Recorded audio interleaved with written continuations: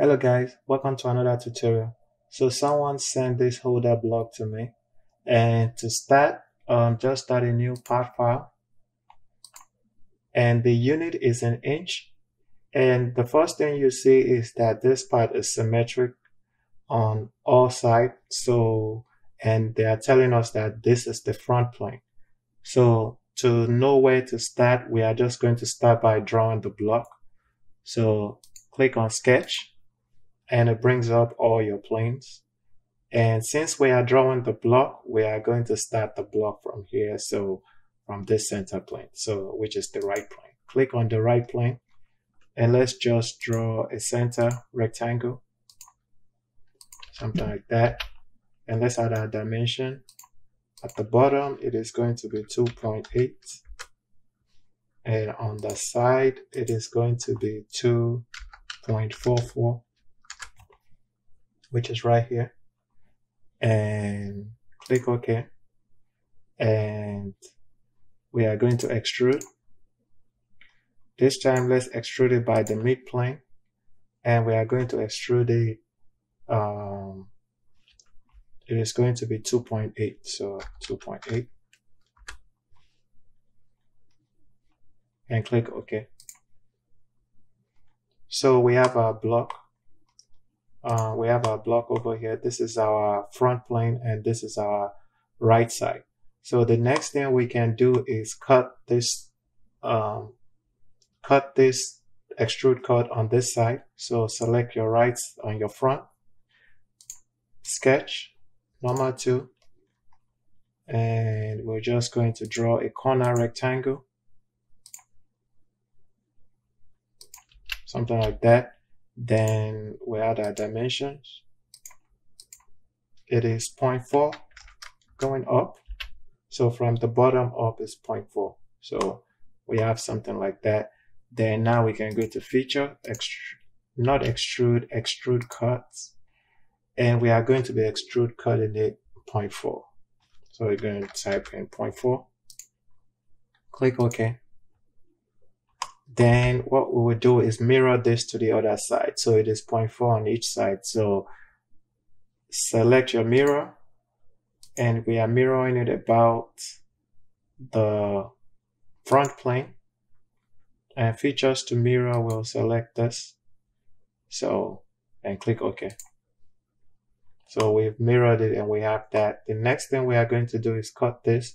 For that, you can just use the chamfer. So you have chamfer select your chamfer and that is a di angle distance. So you have the distance and the angle. So the angle is 45, the distance is 0.8. So we're typing 0.8 in there. And all we have to do is just click this back edge and click OK. Again, if we go into our plane just to make sure we're doing things right and we select our front plane, you can see everything is looking right. So the next thing we want to do is cut this shape. So click this space and sketch. Number two. I'm just going to bring it over here. Uh, you just draw a line, just draw a rectangle, something like this. Good. So now let's add our dimension. We know from the bottom to that edge, it is going to be 0.94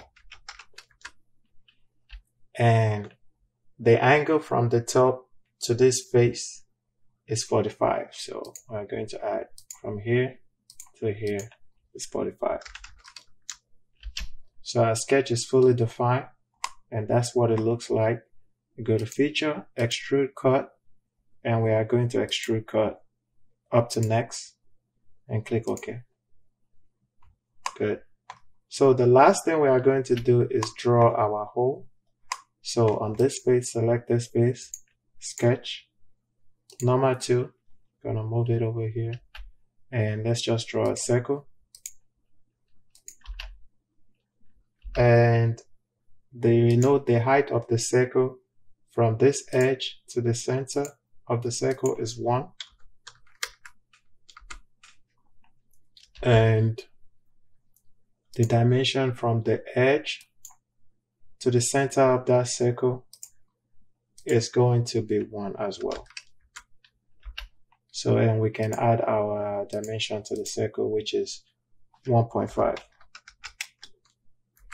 So what this means is, is a true hole, meaning that this hole is going through this part and it's, it's a true hole that is perpendicular to face A. So this is face A and we've made it perpendicular to it and it's going through everything.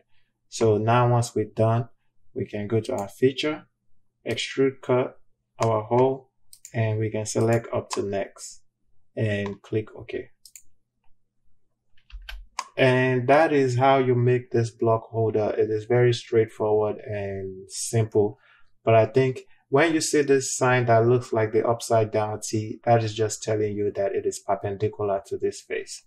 So thank you, and I hope you find it helpful, and I will see you in the next tutorial. Bye.